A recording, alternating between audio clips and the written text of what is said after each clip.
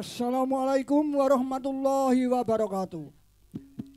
Gebiar Barungan Rizki Budaya saking Loram Kilen RT 02 RW 2 pimpinan Bapak Aris Wagimin.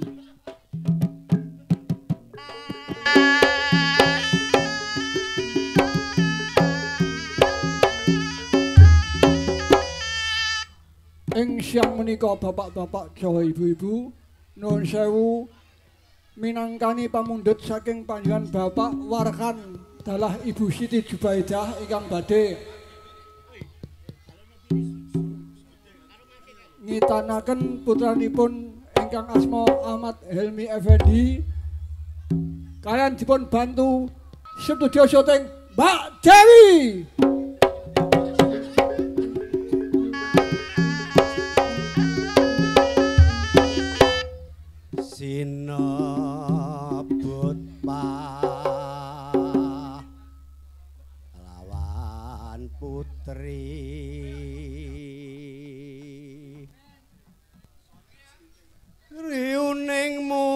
Mustika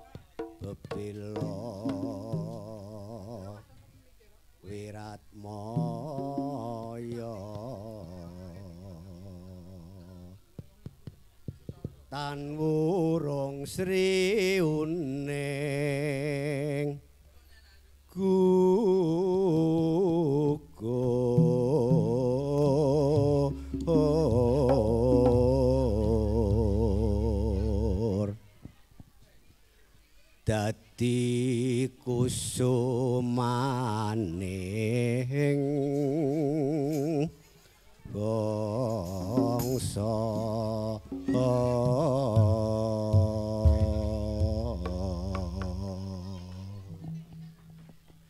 Sri uning mustika tuban labuh tresno lan sabaya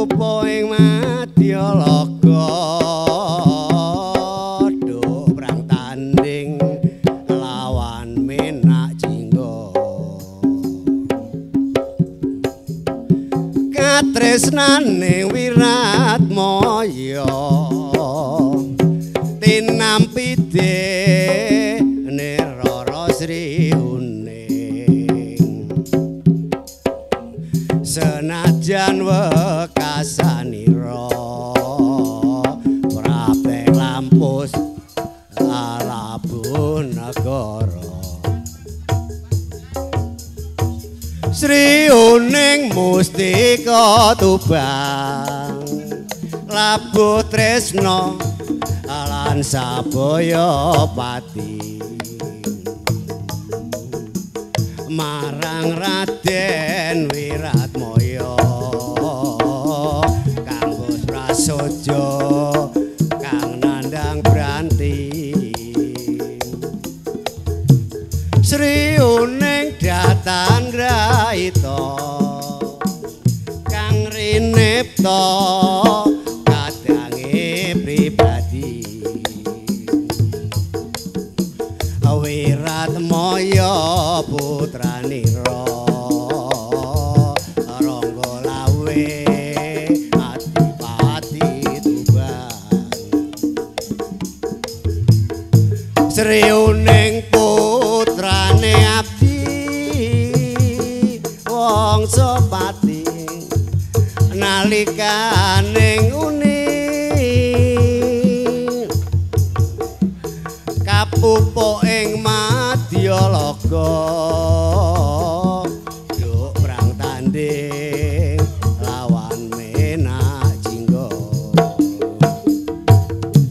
eh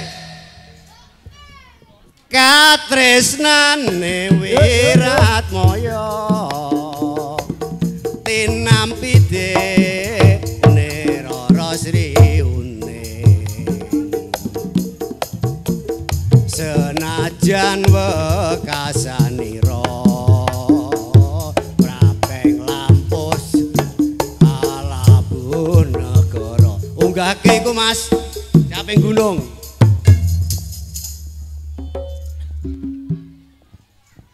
saben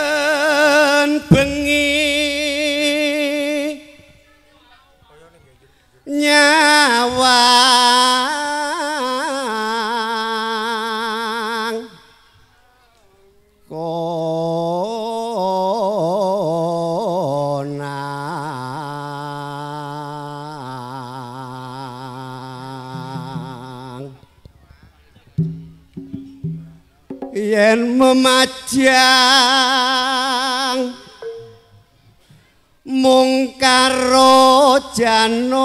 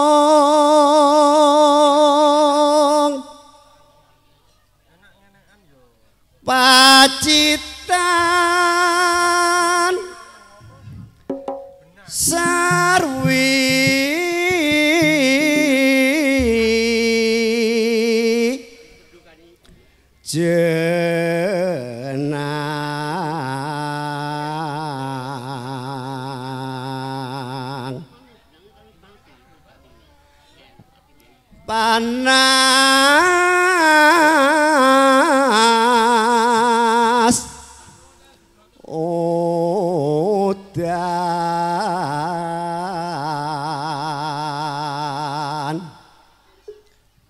panas udan udan panas aling-aling. Capek gunung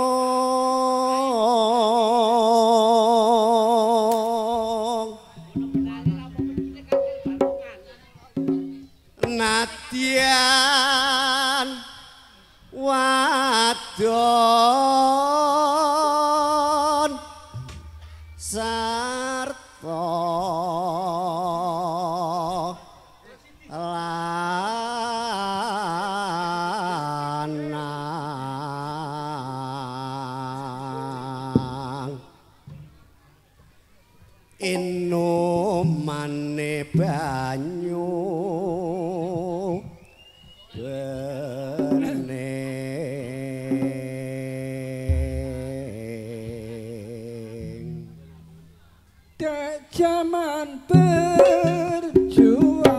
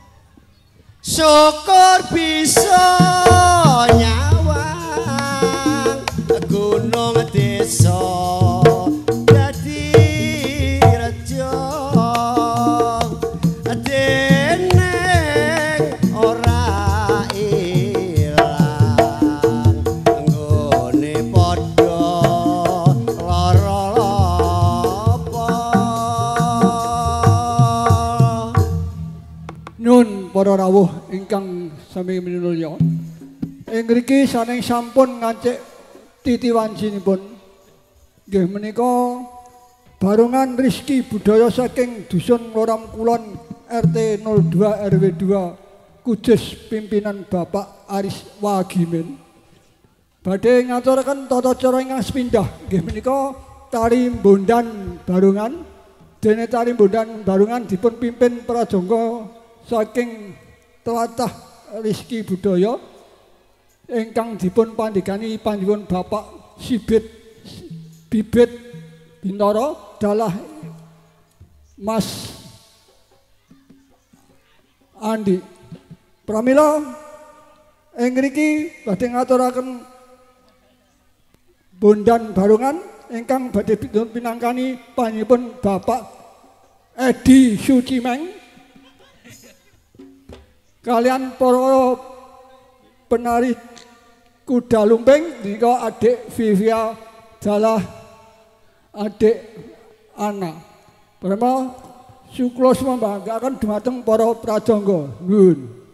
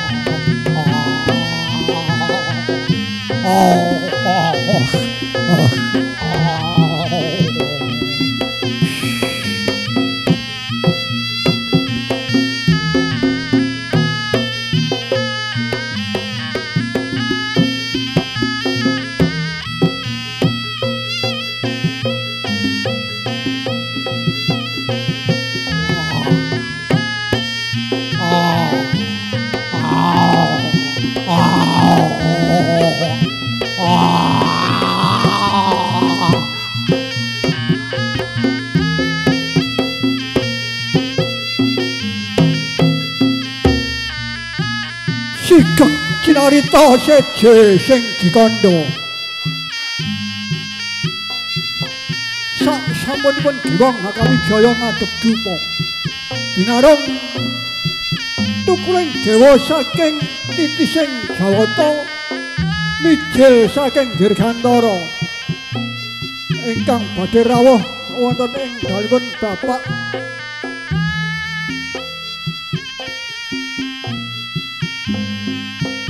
Warhan dalah Ibu Siti Jubaidah. Ingkang saperlu nembe paring pirbeksa wontenipun ngarsanipun pidhanipun Bapak Warhan dalah Ibu Siti Jubaidah. Gek sinten to ingkang rawuh saking Dirgantara menika boten sanes. Ngajan sandhangate pateng ketip sing wis tinambaran dening kencana. Celanane abang, lambene abang, pipine ya abang.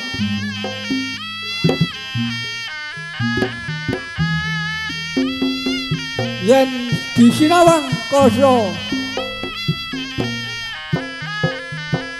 Latah saka sumber lawak Boten sanes nenggih Ki wadyah Kineng mijil saking latah ora mento Bading badhe paring asem paring beksa wonten ing asaten Bapak Warkan Salah Ibu Jiwaita Monggo para pamirsa. Midhanget para mirsani ngantos sakpurnanipun pawiyatan. Nuwun nuwun nuwun